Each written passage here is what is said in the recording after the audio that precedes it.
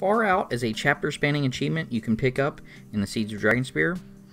Early on in Chapter 7, in the Elfsong Tavern, you'll find an NPC, Zaviak, who will give you the head slot items, the Spectacles of Spectacle. When you equip them in your head slot, you'll get a notification every time you can see a creature on a different plane, and you can then use a charge of the Spectacles via the quick slot button to pull the creature to you from its own plane.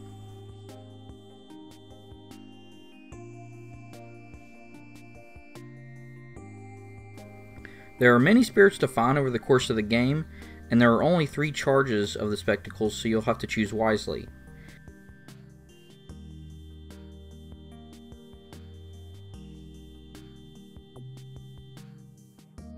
To complete this achievement, you'll have to use up all three charges of the spectacles.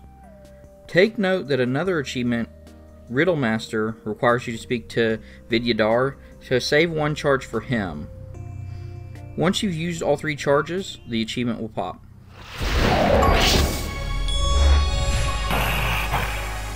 What is this? The Prime? Are you the one who brought me here, mortal?